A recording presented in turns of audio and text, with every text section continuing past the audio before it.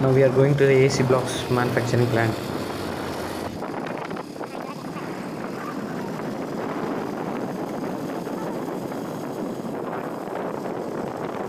Your destination is on the right.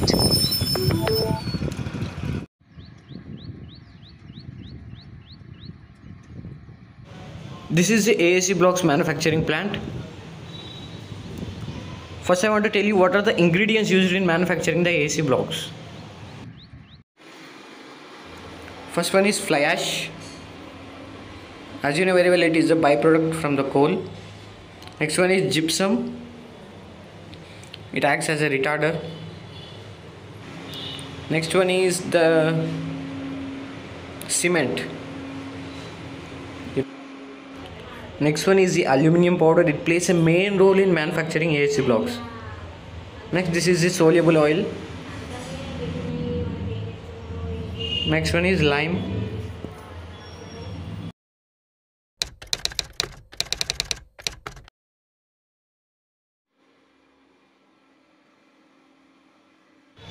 First, fly ash is conveyed through a belt conveyor. You can see the belt conveyor. This is the belt conveyor.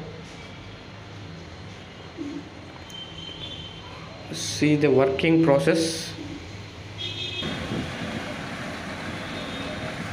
and this fly ash is fed into that chamber you can see. Here the water also mixed then both fly ash and water are mixed and pumped into a, another chamber which is of funnel shaped. You can see next. The cement and lime powder are conveyed through a pipes you can see at the bottom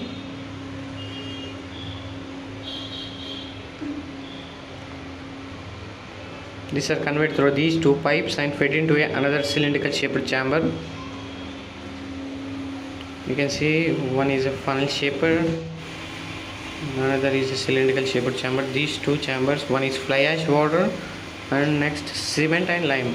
These four are mixed in another chamber cylindrical shaped. You can see by the operator. While mixing process is going on. Here the molds are preparing. Oil is applying by a worker to the sides of the inner sides of the mold to prevent the sticking of the material into the inner surfaces.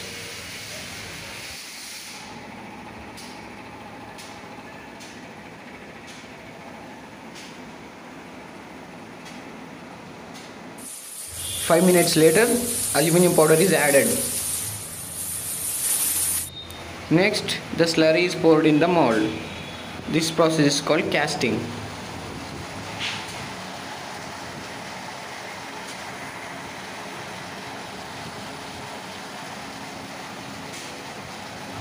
After adding the aluminum powder, it starts a chemical reaction between the materials. Uh, it results in expanding the quantity of the material uh, by forming the air bubbles inside. That is the reason why AAC blocks are having low density than water. Next molds are moved into another truck and allowed to set for two and a half hours.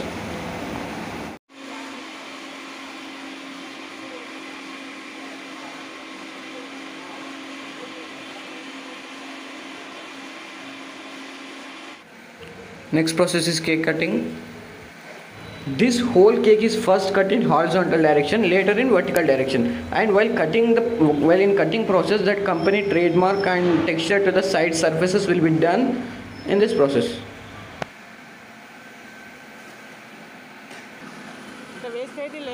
If any part of the material fails by breaking while cutting operation, then it is recycled.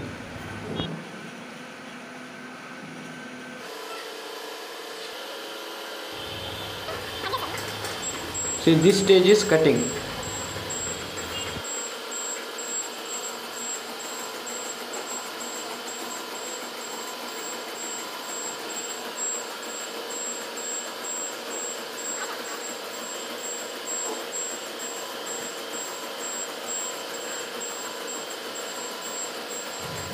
cutting is done by machines so it comes neatly and also uh, texture to the surface will also come very neatly here in this process uh, it will be done.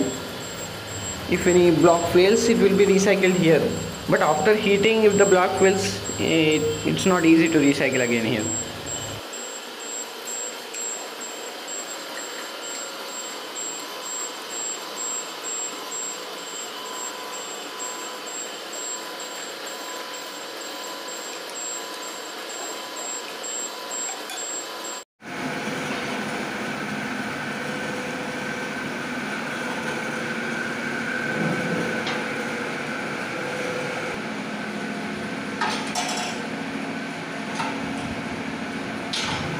next the blocks are moving for the final operation which is autoclave.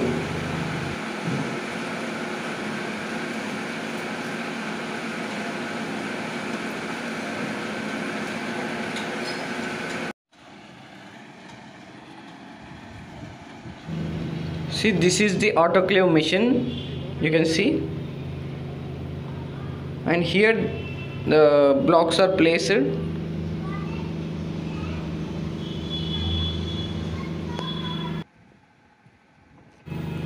this process is done for hardening the blocks and these are heated up to uh, at 180 degrees celsius and also steam curing is done uh, and the steam is applied at a pressure of 12 kg per centimeter square. Uh, i'll tell you how the steam is formed now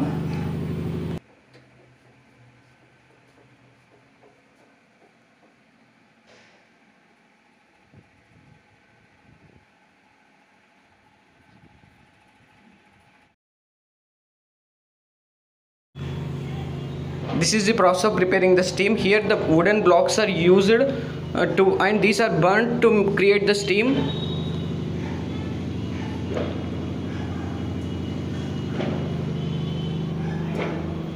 See the wooden blocks?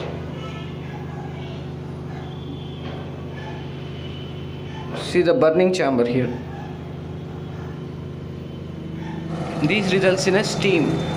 You can see over there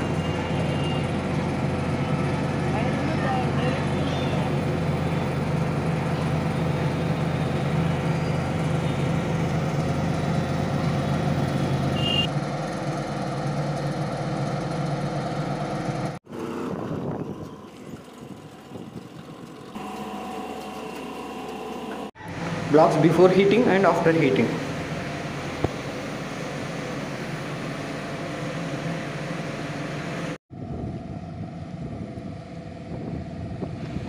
See these are the AAC blocks after coming from the autoclave.